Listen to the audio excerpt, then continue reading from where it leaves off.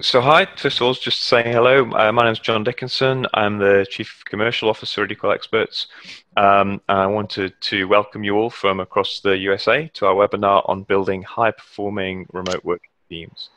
Uh, the purpose of the webinar is to share some of the experiences we've gained at Equal Experts through building remote working teams. Um, first of all, first off, it's important to recognize that these are highly stressful and challenging times. So, with virtually the whole world in lockdown, for uh, some people working from home or working away from their team members, it can be a stressful uh, and also a difficult time. Um, so, it's important to us that we're able to share with you some of the tips and tricks that we've learned that will hopefully make this experience easier for you. We've worked within remote teams and distributed delivery for some time, the mechanics of being able to still highly perform in this way are quite different to when you uh, can co-locate all in the same physical space. Um, but with that, I'd like to introduce, introduce to you the three people uh, that are going to that are joining me today. So we've got uh, Neha Datt. Hi there, nice to meet you. We've got Dave Hewitt. Uh, g'day. And we've got Lisa Copland. Hello there. Um, and they've all worked with remote teams uh, and also with a remote first mindset. Uh, and I'll share with you some hints and tips on making this way of working easier. Um, so, Dave, if you want to kick us off. Yeah. Okay. So, a lot of this um, that we have on this Miro board is based off a playbook that we put on remote working, or we put together the end of last year. In December, we we created a playbook that was effectively for internal consumption, but uh, we open sourced it at the same time. And this this was the starting uh, starting point of this talk. Um, we've gone through a lot of the Equal Experts teams and uh, associated clients over the last uh, couple of weeks on it, and we've also been adding as we go as people have provided feedback into into the webinar and uh, given us hints and tips of their own, which has been amazing. Absolutely. So the way that we're going to do this is we'll be taking you through, as Dave mentioned, this Miro board. So Miro is a virtual whiteboarding tool. If you're not familiar with it, there is a link in the chat, I believe, uh, to the board. So you're more than welcome to click into the link and get direct access to it. Otherwise, feel free to watch me. I'll be sharing my screen anyway. So we'll be going through uh, through the talk uh, on this Miro board. Um, at any point throughout the talk, please feel free to throw down any questions in the Q&A section and we'll do our best to sort of answer the questions as we're going, but then also at the end. Right, so uh, let's just start by acknowledging that working in a remote team is hard. You know, it's about moving from a physical office into a virtual office, and it very much feels like all of a sudden someone switched off the light because we lose visibility, it feels like we lose a lot of flexibility in terms of what we can and can't do and see. And that results in a feeling of less control as well over what we can do and how we can work together. So, a lot of what we're going to be talking about is how we can actually increase visibility, increase flexibility, and actually also regain back a lot of control in terms of how we work by ourselves, but also with our colleagues. So, to begin with, it would be great to talk a little bit about what we mean by being remote friendly versus remote first. Uh, a lot of teams that we work with have been remote friendly rather than remote first. And in order to kind of explain that kind of shift, we'd like you to cast your mind back to maybe 10 years ago when we used to build websites around 10 years ago, maybe a little bit older um, or further back. We used to build mobile friendly websites. And then there was a bit of a shift because mobile phones became ubiquitous. So as that happened, we actually shifted from building mobile friendly websites to mobile first websites. And what that meant was that we had to think about mobiles from the very start rather than as an afterthought. So we had to understand what the constraints were around mobile devices. As an example, the fact that they have much smaller screen displays. But we could also leverage the capabilities. So there were a lot of positive things that came from it. Like, for example, you can use a mobile phone wherever you like. You're not just constrained to using it at a desk anymore. So we went through that shift from building mobile friendly to mobile first websites. And it's a very similar shift that we believe teams need to go through now from being remote friendly to remote first. So again, this is about thinking about a virtual office from the very start. So rather than thinking about a physical office and then how do we make that work in the virtual world, start thinking about the virtual office. And that involves understanding the constraints. So the fact that we lose visibility of each other and what we're doing but there's also a lot of uh, capabilities that we can leverage. For example, it's a lot easier to co create in certain ways when we are using virtual collaboration tools. One example of that would be if I was to raise a post it right now on this board in Miro and just write a couple of things on it, Dave could actually correct some spelling mistakes as I'm typing and maybe upvote or downvote my post it if we were to try to do exactly the same thing in real life, so if we were in a physical office and I was writing on a physical whiteboard and Dave reached over my shoulder and started correcting my mistakes, that would be incredibly inappropriate and aggressive behavior. So the point is that there are some things that work in the physical world that don't work in the remote world, and there are some things that work in that virtual remote world that don't work in the physical world. So we, that's why we need to think about this virtual office from the start and really leverage those opportunities. And another aspect around that is really around some of the flexibility that gets unlocked. So, as an example, uh, some people choose to still work nine to five when they're working from home. There is an advantage, though, or there is a possibility to be able to integrate your day with work, social, home kind of commitments throughout the day. So you have a far more integrated day. It is harder to manage, but it does allow you greater flexibility when you are working from home. So we will talk a little bit about how you can manage that effectively. So, in summary, we do believe that teams should shift from being remote friendly to remote first. And to really sort of land that, what we'd like to do is now take you through a typical story of what it's like being in a remote friendly team. And then we'll talk a little bit about those anti patterns. And then we'll actually talk about what it's like being in a remote first team and share all the great practices that we've been able to experience, but also witness speaking to colleagues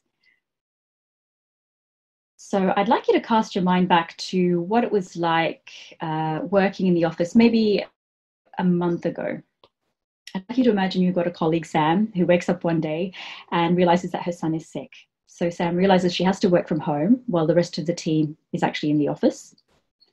So the first thing that she does is she loads up her laptop, she gets herself a cup of tea, and she's ready for stand up or the catch up first thing in the morning with the team. And she's waiting for the team to dial her in.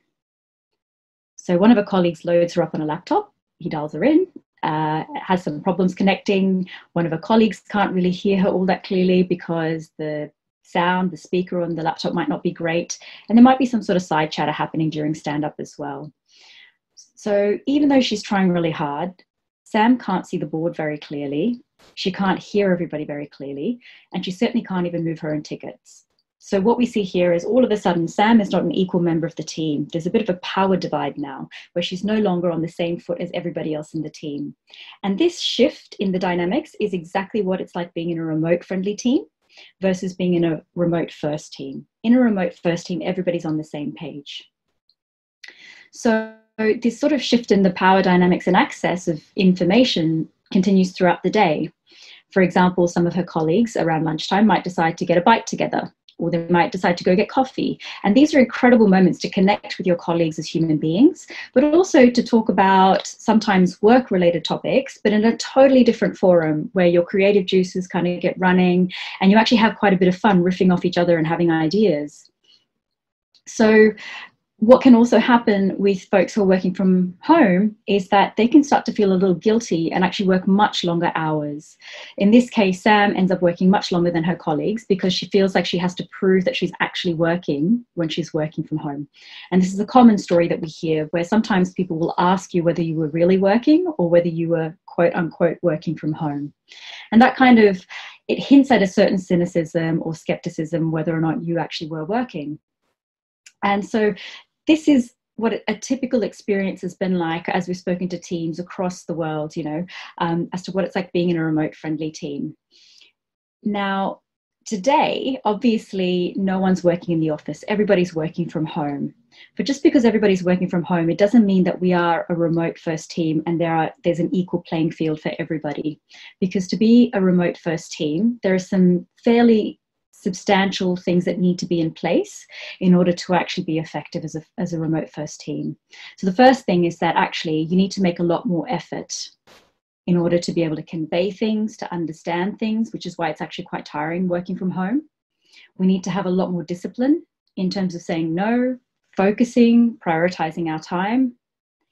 We also need to work in a very different way with different tools. And there's obviously a bit of a learning curve associated with this.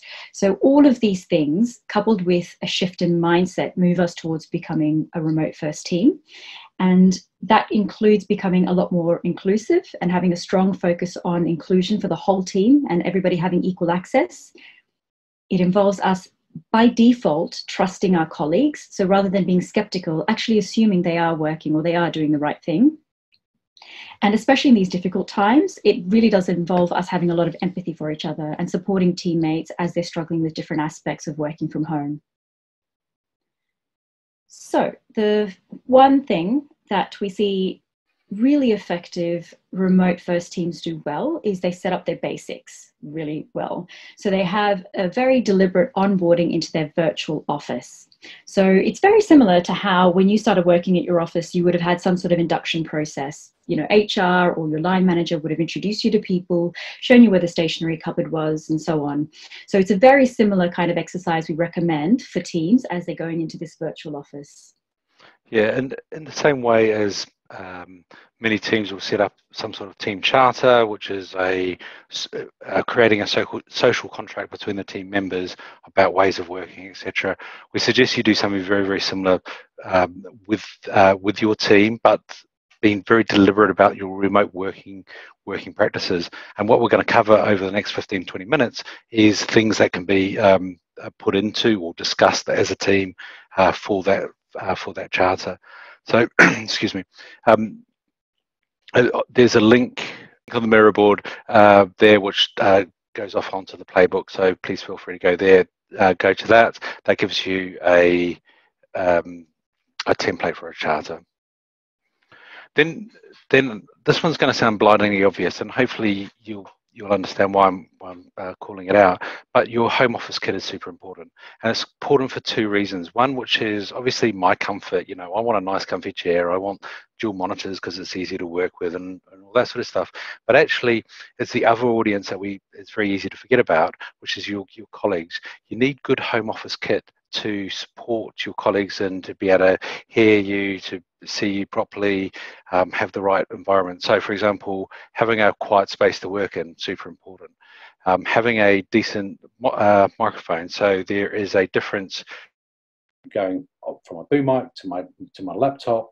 I've got a decent laptop, so maybe, maybe not that difference, but you can imagine if you're in a slightly noisy environment, it makes a lot of difference to be able to have something um, which is a directional a directional mic. Likewise, reliable Wi-Fi. Um, I've had to splash out. I'm going to splash out on plugging my um, my computer, my laptop directly into the router because the Wi-Fi was too patchy. Um, so I do all of this not for me because I can talk fine. I do it because it makes the experience for my colleagues much much easier. Um, dual, dual screens is, a, is another good example where um, actually it helps because then you can have people's faces on videos up. I can connect to them um, that, and I can also do my work at the same time. So having that space on space on monitors, so I can actually see my colleagues while I'm working. Um, we go go through the tools and um, obviously, other tools exist, and I was, I was going to put things like Teams and things like this on, on here, but um, you need to select your tools based on how good they are collaboration rather than how good they are or how how used we are to using them. So, for example, using Microsoft Word versus Google Docs is a massive experience difference. You know, one's feature rich but not very good at collaboration. One's amazing at collaboration. That's okay on the features, but this is the lens that you should be looking uh, looking at for your tools. So um, having a virtual whiteboard, uh, sort of like uh, the tool that we're using here is um, Miro. It's uh, lots of people can come in, collaborate, um, update, edit simultaneously. Mural is another version of the same sort of thing. Uh, a low-fi but equally effective version is uh, Google Drawing. Um, but go for the tools and technologies that allow you to collaborate rather than just because of the history, uh, the history of what we've been using. Um, moving on to some etiquette. Now, there's a really good uh, Basecamp have some really great articles, and one of the things I really liked was Uh, group chat is like in an all-day meeting with random participants and no agenda. I mean, it's just bit, bit, bit, bit, bit coming at you all the time. Do I answer? Do I not? Etc. So it's important to manage that, corral that, and use it effectively. And there's plenty of things that we can do to make it more more effective. Um, there's excuse me. There's uh, things like making sure you summarize uh, thoughts. So instead of just splatting things down, wait, thought, think about it, and then put a summary, and that would be that would be good. Um, maybe it's a case of you start with a conversation on the team channel, you go off onto a video chat, um, and then you go back and you summarize it uh, back to the rest of the team, so they have uh, they remain or, or, keep up with the context of the conversations. Um, mention people by names, so everybody knows who the message is directed to if there's more than one person on there. Have specific channels for specific chat topics so you can choose to mute them if you're not so interested or you're interested in passing but it's not your day-to-day. So just be really considerate and there's some there's some great guides um, on the uh, on the remote working playbook that will give you a lot more hints and tips about using your messaging tool. On your video uh, chat uh, now I'm a big fan of uh, video on default, but on by default, and the reason I think that's important is because it gives you better uh, social connection, a better human connection. I can I can look at somebody and I can see whether they have understood my question. Um, uh, maybe they were distracted. Um, you know, there's there's a lot you get in a, as far as body language goes back by uh, being able to see somebody, and like you wouldn't walk into uh, an office if I was co-located with a team, and then we went to a meeting, we just go to separate phone booths and pick up a landline. That just doesn't make any sense. So whilst the the video conferencing, the video on conferencing might not be quite as good as the being there in real life, actually it's a lot better than just having that over the phone. Now, I understand that there are sometimes uh, bandwidth issues and all that kind of stuff, but if you start a meeting, for example, with your video on, make a bit of a connection, create that uh, create that uh, yeah create that thing between uh, between people then maybe switch it off after that. Um, and and little things make a big difference as well. So um, if there's a big meeting go on mute by default so you don't distract the talker or the listeners. Um, there's great tools. So for example zoom um, has good push to talk facilities. So you just uh, press the space bar. Teams i'm pretty sure has the same. Google hangouts has the same. So look um, you know look for these things to make it easier. As i say it's not uh, it's easier for your colleagues um, to hear the conversation and it's less taxing on them as well. Awesome so like these are a lot of the basics that we see these sort of remote first teams really focus on and really nail before they start to focus on other areas. So just wanted to quickly address the question that was raised by Robert, which was around bringing a new team member into, I think it was a software engineering team. So, I mean, the best way to do that is to really onboard that team member through something like a team charter because it sets the rules not only for the new person, but also for the existing team and just realigns everybody in terms of like some common practices and tools as well. Um, and as we go through, there are going to be more things as well that will feed into that team charter, not just these sorts of basics. Um, so we'll continue to build on that as we go through this webinar.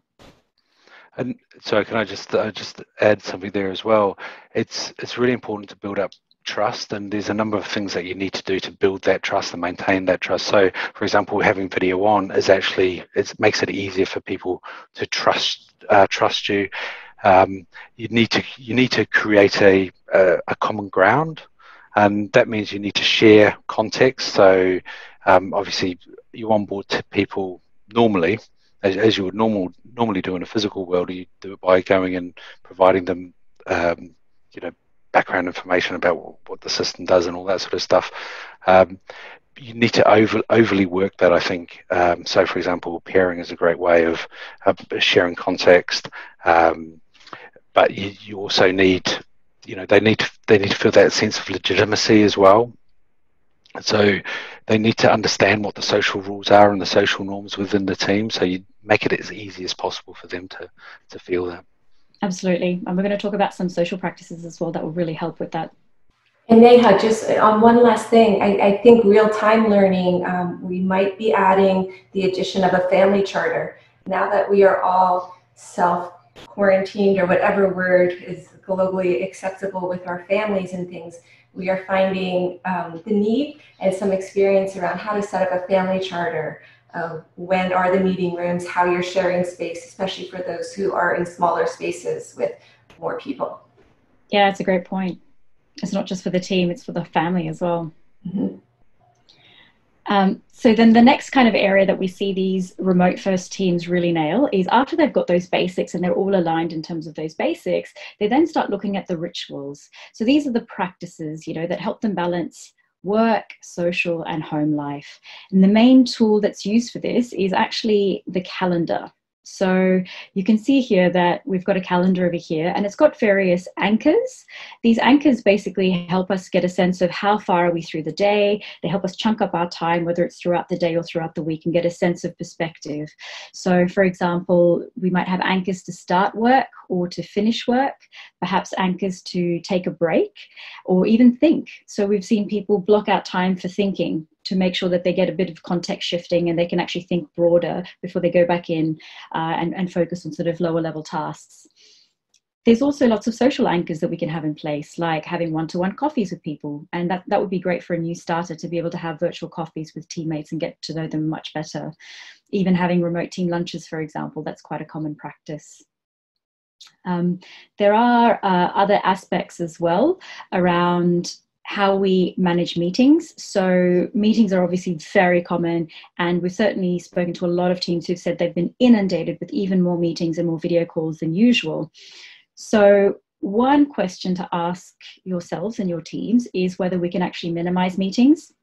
One thing that remote teams do really well is they actually run asynchronous meetings. So, what we mean by asynchronous meetings are if you imagine you've got a retrospective that's been booked for a week, rather than have a 45 minute call where everybody's together and adding onto a board and prioritizing things and agreeing actions, what you can do instead is actually set up a board a couple of days earlier. Get people to add things to the board and comment and upvote in their own time. And then that way, you only need to have, say, a 15 minute call just to discuss the things that really need a discussion. And what that does is it gives way more control back to the individuals because they can choose when they want to do the work.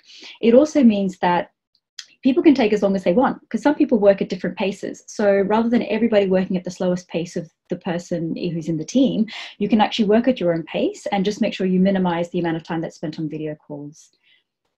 Uh, another thing that we've seen some remote first teams do is uh, they have something called a variable agenda meeting. And it's basically a, a, a, a kind of like a time box that's been set throughout the week. So it might be two hours, let's say, every day for the week. And during that time, the entire team needs to be free to be able to join into conversations. And so at the beginning of that session, everybody will put down the topics they want to discuss. They'll prioritize them and they'll work through them almost like a lean coffee.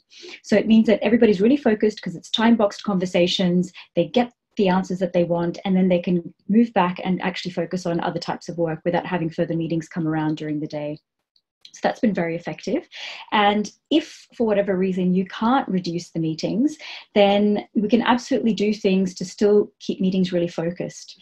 One thing is to actually get into a habit of joining meetings a little bit earlier so you have time to socialize etc before the meeting starts and then make sure that meetings don't go to the half hour to the or to the full hour. So rather than an hour meeting just have it for 45 minutes. And by doing that it means that people have to really focus on what's more important because it's only 45 minutes. It also gives you a 15 minute breather just in case you have a meeting in the, in the next hour. So it gives you time to get up go have a walk do a stretch whatever it is which again will actually make you feel a lot more energized and less drained from being on calls all day long. Then sort of adding on to meetings, like for the meetings that you do have to have, uh, there are other things in order to make meetings more effective. So we've seen some practices like some teams running their meetings like a design sprint.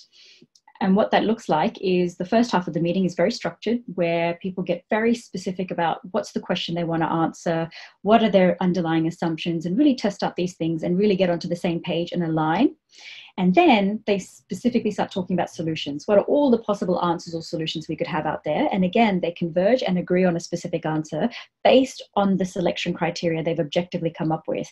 And the amazing thing about this process, about the design process, is that it massively reduces circular conversations because a lot of the reasons why we have circular conversations is because we have different assumptions that we haven't called out and we're talking about problems and solutions at the same time. So this nicely separates those things and it keeps the conversations very focused and gets you making decisions a lot faster. There's a there's also a tool or a practice called uh, a lightning decision jam. So if you click onto this link, you'll be able to have a look and watch a video about how to do that. But again, it's a very effective way of making decisions much faster. And one of the key things to sort of remember around these remote meetings is that it's really important to be able to have a um, have tight facilitation strong time boxing and having really visual sort of whiteboards virtual whiteboards that people can work off in order to be able to convey ideas and really share get a shared understanding and things.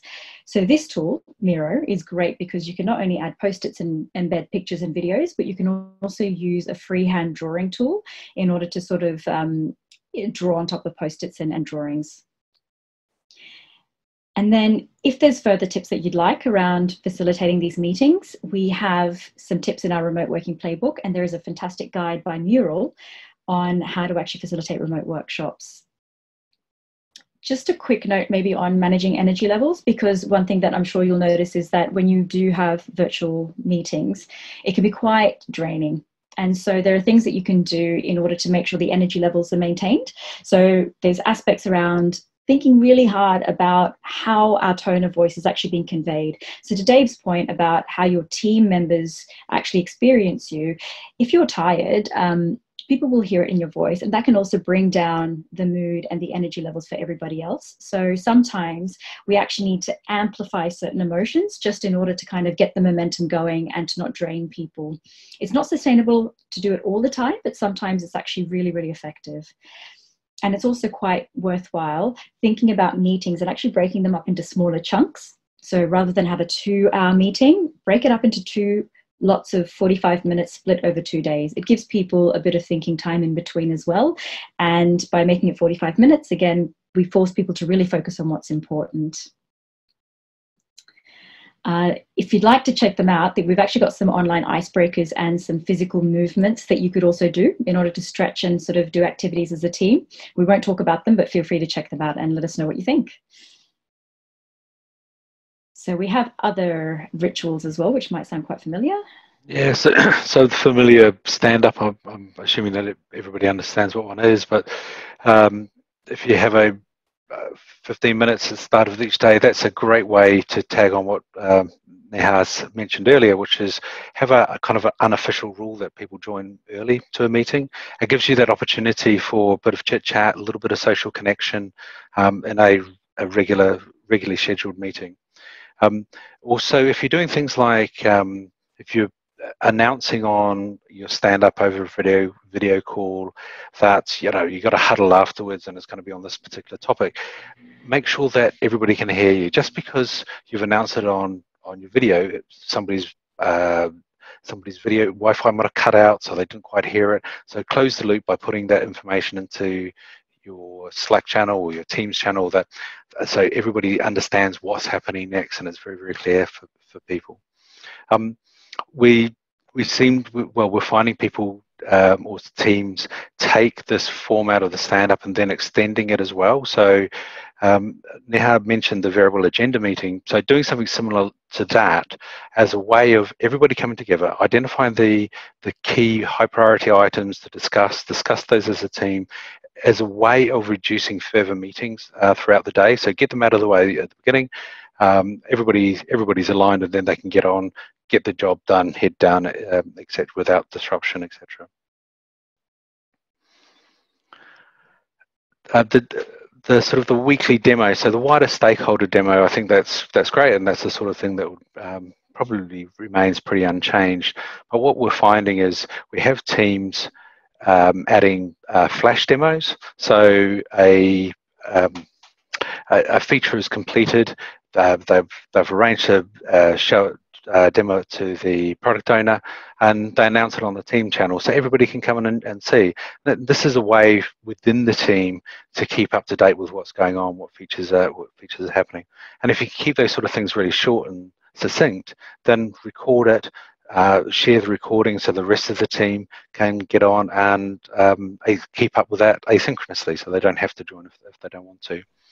Um, another thing we're finding is towards the end of the day, um, we have teams where they're doing effectively daily daily demos. So any any pieces of work that is ready for demoing, um, they get the opportunity to share it within the team, um, so other team members understand where where, where they're at and what's going on.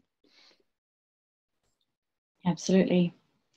And then that sort of takes us on to the more social aspects of the social rituals, which are also so important for keeping a team together and keeping people sane.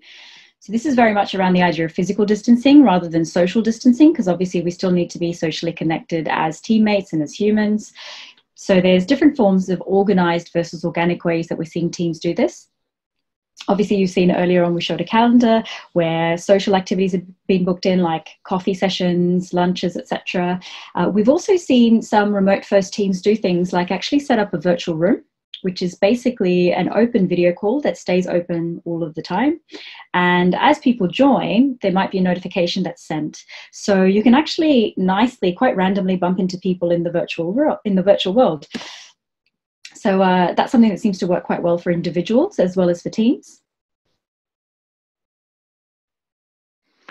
Yeah, so um, uh, we have a team uh, that opens up a effectively a virtual lunch. Um, so they have a channel open uh, just during lunchtime, and that's their opportunity to get together if they choose to. It's purely optional to get together if they choose to and, and share that social connection a little bit. Um, another team does a slightly more formal version of the similar thing where they get together as a team once a week. Um, and they have two very strict rules, which is uh, not talking about work and don't need noisily down the microphone. So these are these are ways of keeping that social connection going. You know, as we've we might have that now because we've worked together um, really closely, co-located perhaps, but it's very it'll degrade very quickly over time. So we need to make sure we put things in place that that keep that connection going. Absolutely, and and some people were talking a little bit about. Uh, you know how different teams really have their own culture really come out in terms of how they choose to socialize. So uh, there's one team that we've heard of who actually um, they had 20% time, like free time. So they use that time to actually create a virtual office in Minecraft. And so the idea is that when people start the day, they go to their office, their virtual office in Minecraft. When they want to have a break, they go to the coffee point and there's like an open video call for that. So you can actually quite nicely see that virtual world and feel like you're almost actually in an office. Um, again, that is extremely geeky, so that's not necessarily for everybody, but it's really nice to see the team culture played out in terms of how they want to interact with each other.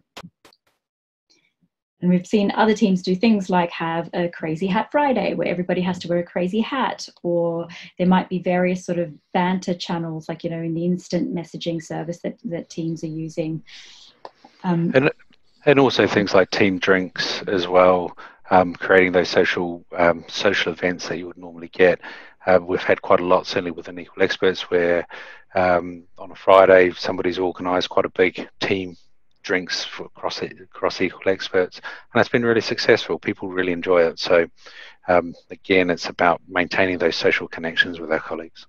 Yeah, absolutely. And one of the sort of fine lines that you might need to tread is trying to figure out okay, how can you make sure that you can facilitate fun but not mandate it? Because when it starts to feel like it's forced, obviously it stops feeling like fun. And wherever that line is, is going to be different for different teams. And that line is going to shift over time as teams start to become more comfortable experimenting online. So just give things a go and play around with it and have a bit of fun. So once these sort of remote first teams nailed the communications, sorry, nailed the sort of rituals and um, and and what their anchors are going to be, uh, then we start to talk about some things that are a little bit more almost philosophical, but also harder to nail and to get right. So this is very much around communication and communicating very deliberately. Of course, we've all heard that we need to over communicate. That does mean not only sharing, but actually listening a lot more than we're used to. So, one of the things that uh, that one of our colleagues actually does very well also is being very deliberate about how we communicate and be very specific about communicating a few steps ahead. So, for example, if you imagine that um, I'm finishing work in a couple of hours, I might say, hey, folks, it's going to take me a bit longer to finish work, and that's it. So that's not very specific, and that doesn't really tell the person who I'm communicating to what that means for them. Instead, if I was to say, hey, folks, it's actually taking me a bit longer to finish this task, so I think I might have something ready to show by 2 p.m. Is anybody ready um, to actually demo and give me some feedback, thumbs up, thumbs down? That's actually communicating a few steps ahead. And the great thing about that is, um, as Dave mentioned earlier on, by communicating a bit of a summary, we massively reduce the feedback cycle times. So in real life, if I was very vague in how I communicated, you could ask me a qualifying question and we'd to and fro a couple of times just within half a minute. To do that toing and froing over communications like Slack or messaging services can actually sometimes take hours because not everybody's on on the device at the same time. So in order to massively reduce that and still have momentum, it makes sense to actually think a couple of steps ahead and communicate a couple of steps ahead each time uh, kind of um, there is a, a, a, guide written by Basecamp, which is actually a really really good read. So we'd highly recommend clicking into that and having a read um, if you've got some time. Uh, and just the other thing also just around how we communicate is that it can feel quite awkward sometimes when you're on a video call and you ask a question and then there's pin drop silence. It can sometimes feel like you actually want to speak over that that silence, you know, and like fill that void we highly recommend actually embracing that silence because it might feel unnatural. However, it's really necessary when we are in a remote world because, first of all, not everybody's going to respond straight away because it takes them time to unmute themselves. Secondly, some people are actually still thinking, so different people will think at different paces and not be ready to respond straight away. The third thing is that, and this is something I certainly do, um, some people don't want to actually be the first person to respond because they're afraid of speaking over, over somebody. So just knowing a couple of these things makes it a lot easier to kind of embrace these awkward silences and make sure we do create that space to get some feedback from people. Otherwise, it's much easier for us to actually lose alignment and not really confirm whether or not people have understood what we're saying or whether we're all in agreement. And Another way that you could do that without the, the verbal cues is to actually use physical cues, uh, sorry, visual cues. So uh, you could ask like whether people are happy to move on, thumbs up, or they want to continue talking, thumbs down. So just even having those sorts of cues gives you a lot of feedback, which again makes it much easier to, to communicate given that you actually aren't physically together. Yeah, so uh, something um, that with the silo that you can create around your uh, team is you lose context about what's happening in the wider organization. So there needs to be mechanisms within organizations to uh, to bridge that and provide that provide that context. So, for example, having an all, all hands call, um, perhaps once a week or once a fortnight, it might only be 15 minutes or half an hour, um, where people can come in, ask, uh, do Q and A's with uh, senior leadership. Um, but that's important because whilst we will create um, good tight bonds with our immediate team, it'll be very, very easy to lose that with um, other parts. So we need to know and we need to understand why we're doing this work, why that priority was changed, um, what's the big threat to the business, should I be worrying about that or not? So having that communication channel um, open just helps us understand where the team that we're working on fits into the organization and are we pulling in the right direction still. Um, yeah. Um, excuse me. Uh, the other the other thing is on communication is around signaling, and this is about I guess extending that social contract with our with our colleagues. So, a lot of the messaging tools will have um, statuses that you can set, and if we if we're deliberate about the statuses and we use them deliberately, then um, we can send signals out to to our colleagues. So, for example, if I want to just get my head down, start coding for a couple of hours, I just don't want to be disturbed. Um, if I put um, in the zone back at three o'clock, um, people will understand that one, if they um, do send me a message, I might not respond to it, or preferably, perhaps don't even send me that message. So I've created so social contract that uh, for my colleagues to look at my status and go, okay, i will ask a question to somebody else, or the question's not urgent, I'll, I'll wait a little bit longer. Um, the other the other important signal is about sort of starting and stopping your day. A lot of people complain about their work day bleeding into their home life.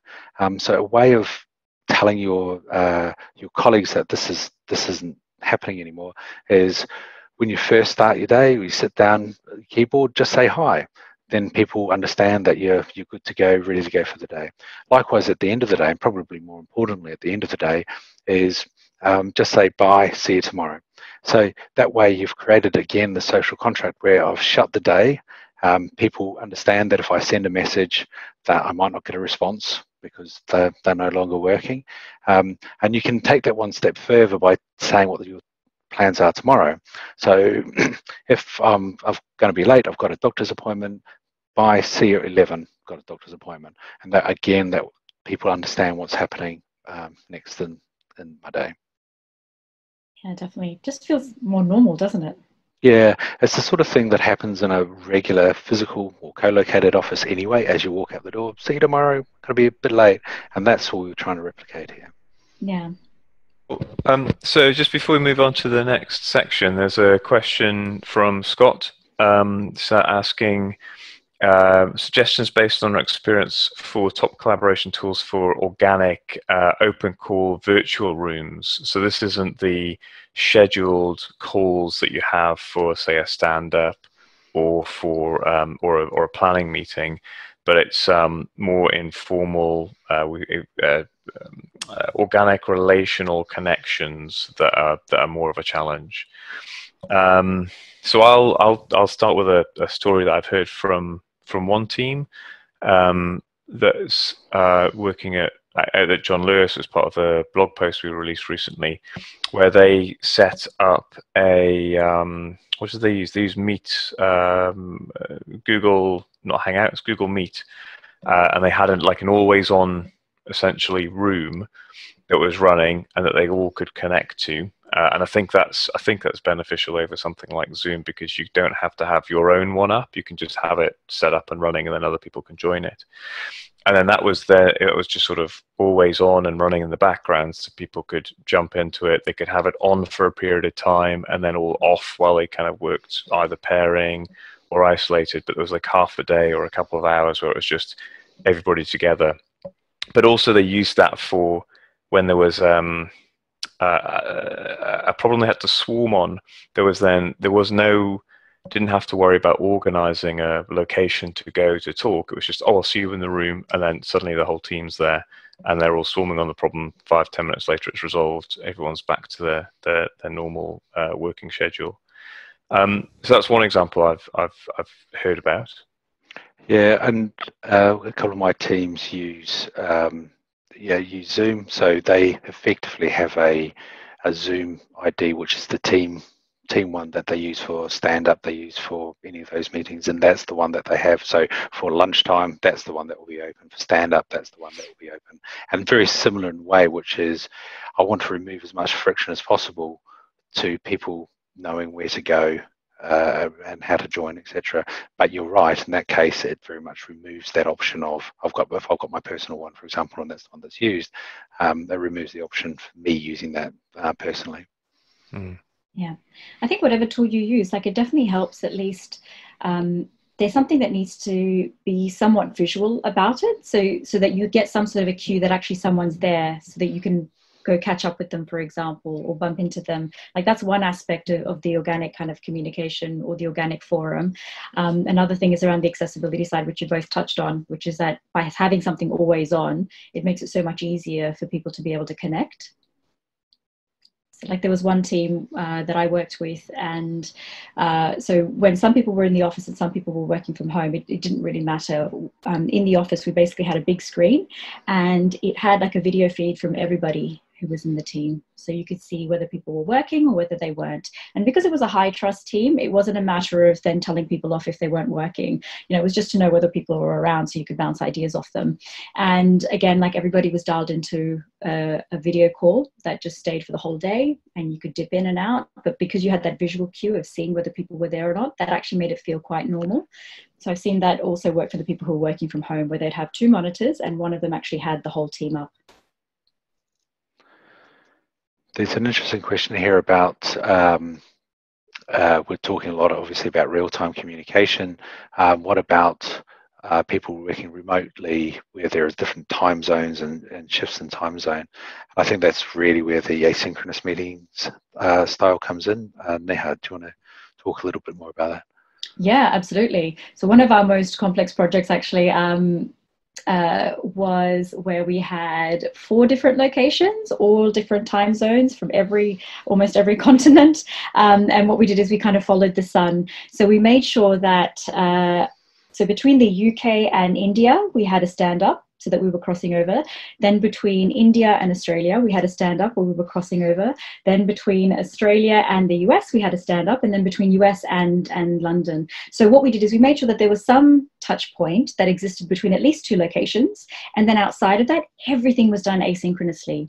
So those stand ups were literally just opportunities to be able to escalate things or get clarity on items, not a traditional kind of stand up. And everything else was done asynchronously. So we used Zeplin for commenting on designs. We used Jira for our development tasks, and we had videos of micro demos, as Dave mentioned, kind of posted on Slack channels, so people were able to view those demos, um, give feedback, etc. So we've definitely seen teams manage it. Of course, it's it's quite a challenge, but like it requires a lot of discipline and planning, and if you can get it right and get those rituals in place, it makes all the difference. And to piggyback off that, we find too, if you can create the asynchronous communication channels that you just discussed with some real-time decision making, so you limit any blockers that will extend over a large chunk of time, say US to India or something where the team is waiting on something. Um, those are some skills that uh, are needed to identify earlier. And we are going to be having a blog post come out shortly that talks just about that. So stay tuned. Yeah, absolutely. I mean, one thing worth mentioning is that, um, I mean, of course, this isn't so much an option right now. One thing that we have done is when we've had these extremely distributed teams, we do try to get at least one or two opportunities every couple of months or, you know, half year or year where people actually can be co-located just to kind of build those personal relationships. Because once you've actually done that just once or twice, it makes all the difference in terms of assuming people aren't being malicious or not kind of assuming the worst when you actually are then working remotely. So admittedly, we can't do that right now, but that's something to bear in mind for the future when some of these travel restrictions have lifted. Cool. Do we have uh, any other questions? I think that's it. Okay, so. Oh, so we've, so we've got a new one just popping up, okay. um, which is what is the best way to embed etiquette and rituals based on your experience? And for me, it's um, about having a that deliberate com, uh, conversation about what you want to do. I think unless you have that conversation, you're going to you're going to make too many uh, too many assumptions about what other people believe and understand. So, I personally think uh, the the idea of a team charter for remote working specifically helps you at least highlight and discuss what's going well, and then actually on the the next bit around adapting and emphasizing, it is being um, revisiting that through retros. It's a very standard retro, nothing nothing special, but it's about being deliberate about having that uh, uh, that conversation about what's going well, what's not going well, what actions are we going to take to address these things. Unless you have that that deliberate conversation, I think people just make assumptions, and those assumptions are always wrong. And everyone's digital literacy right now, uh, everybody working from home, some that this is their first time, just have to be extra empathetic to say where are we all in this in this world of working differently and, and help and carry along those people that may need a little bit more support. So there's things that you can do from training and information that are sidebar to the overall team that you start to take everybody and get that true level set of understanding um, how to move forward. Yeah, absolutely. And I think it works really well when teams have that joint accountability for whatever it is that they're signing up to. So we've seen, for example, if um, once a team charter has been made, let's say there's an agreement that we want to use threads so that we don't add so much clutter and noise into our Slack channels, for example. Uh, it's really great having that conversation when we're drawing the team charter to say everybody's responsible for holding everybody accountable. That means it doesn't matter whether you're a manager or not, anybody can pull up anybody for not following what we've just agreed to as a team. And it actually gets quite fun. You can actually gamify it a little bit as well, you know, and set up very special kind of alarm emojis and whatever, you know, when someone's broken the rules again, we need to be very empathetic, as Lisa mentioned. You can have a bit of fun as well, um, but it's really important to build the muscle memory for these habits. And in order to build the muscle memory, we have to be reminded when we're not following it. And not everybody's always going to be very mindful of what they're doing. So it's important for us to be able to rely on each other to call each other out as well. Right, so this last sort of area that uh, we wanted to focus on was, as Dave mentioned, adapting and empathizing. So these are obviously very difficult times. It's really important for us to be able to inspect and adapt based on what we're learning and based on how teams are changing. Uh, we wanted to share one quick story about how one of our clients is doing this phenomenally well. Uh, their leadership team has a rapid response team kind of allocated to the current situation that we're in. And this rapid response team has folks from procurement, from finance, from legal, from various offices uh, to make sure that any challenges that employees are facing are addressed as soon as possible. So within a very short period of time, they've managed to roll out enterprise-wide licenses for tools like Miro and Zoom. They've managed to um, make sure that there's an employee mental health care service that's available to everybody as well, especially those folks who have children at home and give them very specific exercises to try as well. Uh, and what's been really um, promising is every couple of days, someone from the senior leadership team, so someone from the C suite, will, will release like a, a, two to five minute video, just kind of saying, look, here are the problems that we've heard from you, or the challenges, and here's what we're going to be doing this week. And here's the feedback that we've gotten from you from the other things that we've implemented now. So just having that feedback from someone who's senior and seeing real progress makes a huge difference towards people feeling like they're being supported.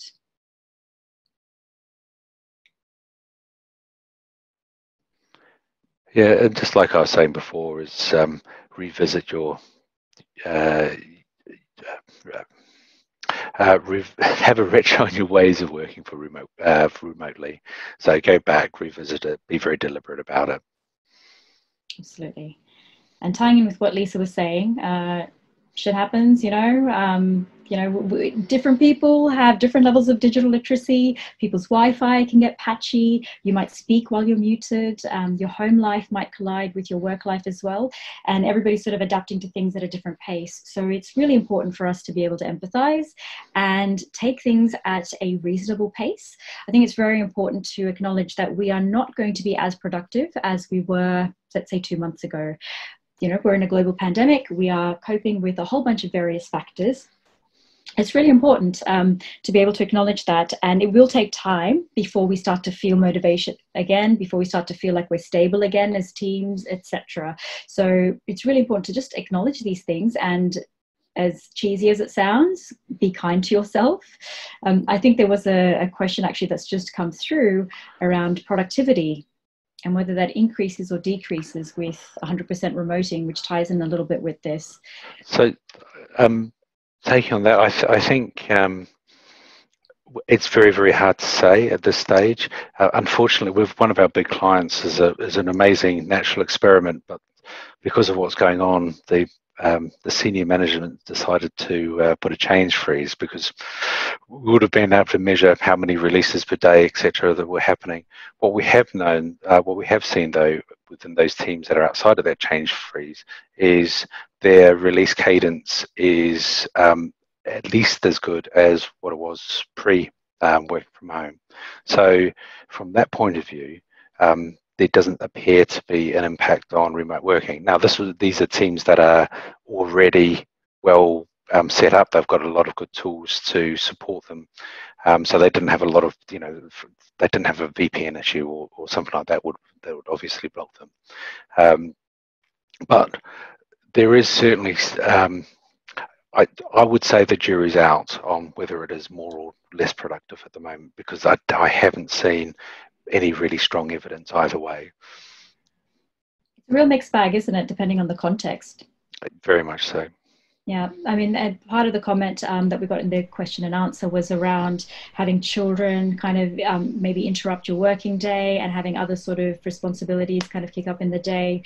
Um, absolutely, that does happen. We've also seen teams actually integrate that quite a bit into their lives. So, for example, I was on a call earlier on with a founder for a startup that I'm working with, and her daughter was having a bit of a strop on the side. So she just picked her up, put her on her lap, and we just continued to have the conversation. So, if we can kind of integrate some of these elements in as well and just say it's okay, it's totally fine, and it's just human, I think that can somewhat help as well ease the pressure of feeling like you have to then compensate and work extra hard or longer hours to be able to make up for that lost time.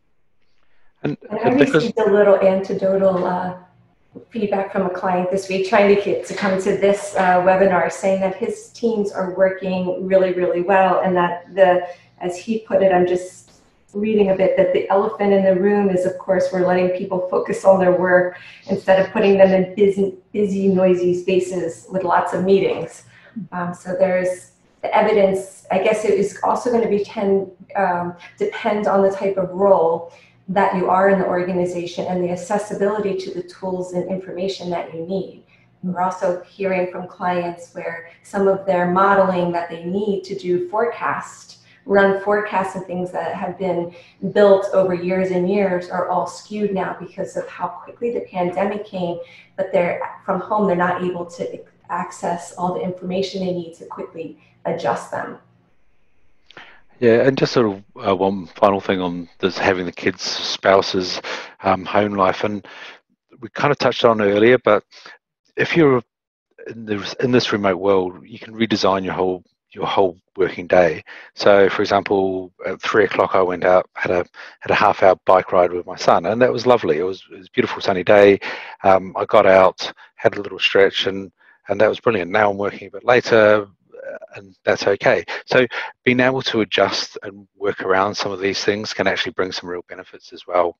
Um, it's the sort of thing I wouldn't be able to get to do if I was stuck in the office, frankly. Mm. Absolutely. So, in summary, we've said that working in a remote team is hard, that teams tend to be remote friendly, and we do believe teams should work remote first. The real clincher is that teams can work remote first even when they're co located.